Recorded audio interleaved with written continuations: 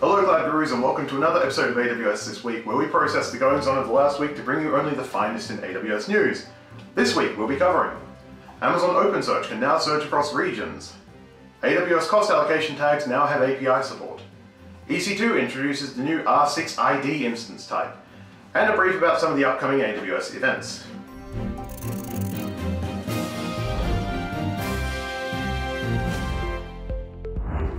Amazon OpenSearch now supports cross-region searches. OpenSearch has previously supported the ability to search across domains within the same region, but this comes with some limitations in practice. Many companies will deploy their resources, including OpenSearch clusters, across different regions to meet architectural requirements such as data sovereignty. This new feature enables cross-cluster searching for both OpenSearch and versions of Elasticsearch after 7.10. Now beyond the version restrictions, there are a couple of limitations to be aware of.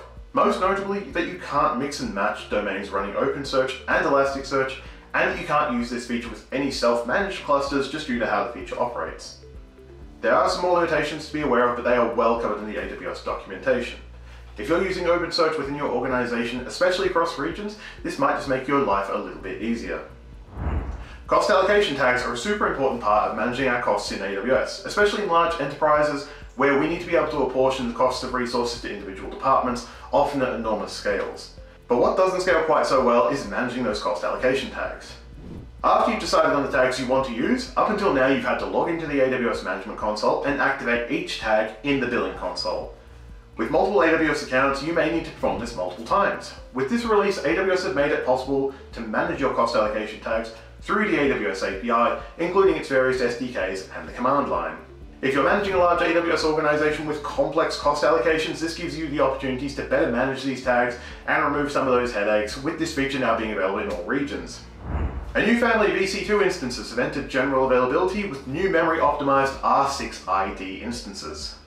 Running the same Intel Xeon processors as the rest of the R6i family, the new R6ids also include a huge amount of local NVMe SSD storage. Compared with the previous R5D series, you're paying about 5% more for on-demand, but with a substantial boost in the relative amount of instant storage available, and performance for both the networking interface and for the EBS storage as well.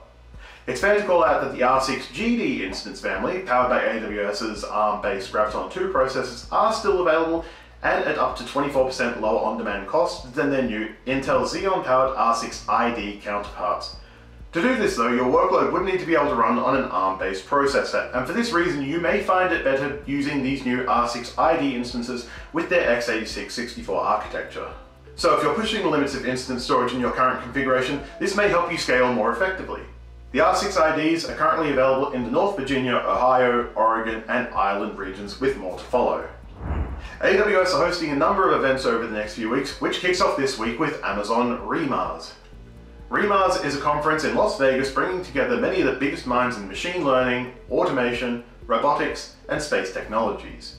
Sessions are covering everything from using AI for clinical medicine, managing fleets of autonomous vehicles, and measuring carbon emissions using satellites and machine learning, so attendees really are in for a treat. If you're interested, you can also watch the keynote talks online through the live stream. Beyond this, AWS summits are also kicking off this week in Milan and Toronto, continuing to circle the globe.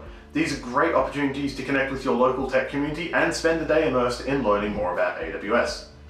For a full list of locations and dates and further information, check the resources in the description of this video. That's it for the news this week, we hope you've enjoyed it. If you're enjoying our content, consider checking out our free plan on our website, which includes access to rotating content so you get something new every month. So until next time, go forth and learn all the things. And as always, keep being awesome cloud gurus.